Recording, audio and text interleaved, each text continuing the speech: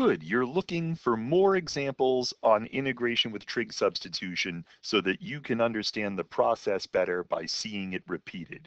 And that's marvelous. Uh, this, oh bugger, come on. I have a master's degree, can you believe that? This is example two. Uh, let's say we want to find the integral of 1 over x squared times the square root of x squared minus 9 dx. Now, this is a dead giveaway that we're doing integration by trig substitution because this is a square root of x squared minus a number. And so in step one, we build a right triangle one of whose sides is that side. Uh, it, it's got a minus, not a plus, so it's got to be one of the legs. And the other two sides are the square roots of those numbers. x is bigger than 3. Uh, we know that because the square root of x squared minus 9 has to be a positive number. So the, the other two sides are x and 3, and x is the bigger one. Step 2 says we make a substitution for everything with an x. And so that, let's change color just to make things more straightforward.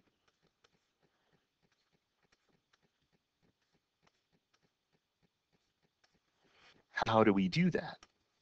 Well, we make two comparisons. We compare the linear term to the constant term, and we compare the radical to the constant term. What's x over 3? Hypotenuse over adjacent. What's x squared? My, oh, uh, it's the square root over 3. That's opposite over adjacent.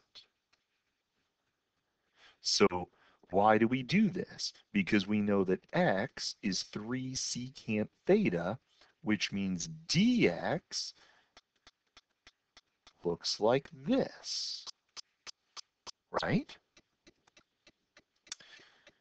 So now, x squared is this squared. The radical is 3 tan theta, and dx is this piece.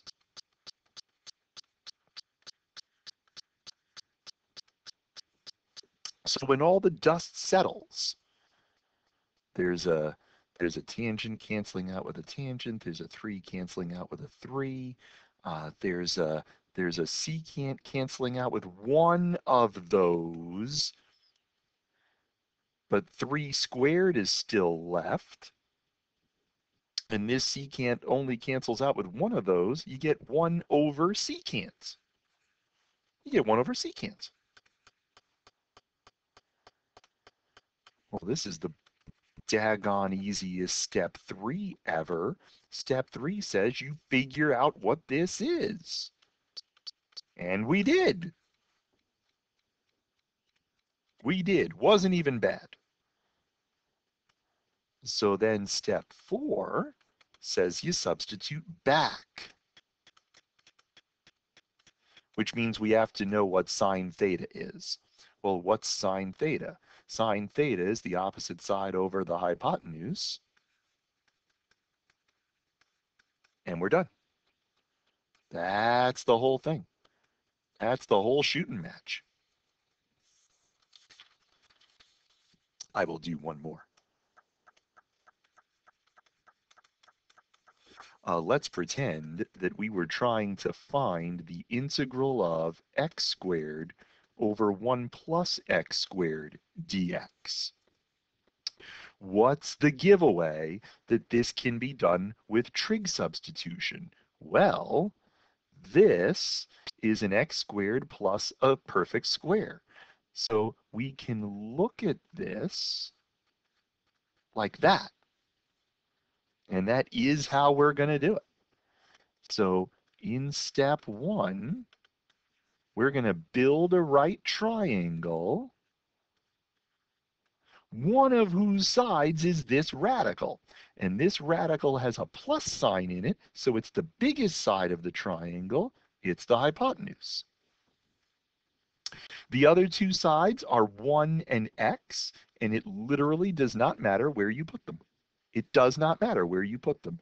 If you put them this way, you're going to use tangent and secant. If you put them the other way, you're going to use cotan and cosecant. Either way, you will get an integral that is doable. Uh, we're going to figure out the relationship between the linear term and the constant term. We're going to figure out the relationship between the radical and the constant term. Uh, this function is tangent theta, and this function is secant theta. Why do we care that x is tan theta?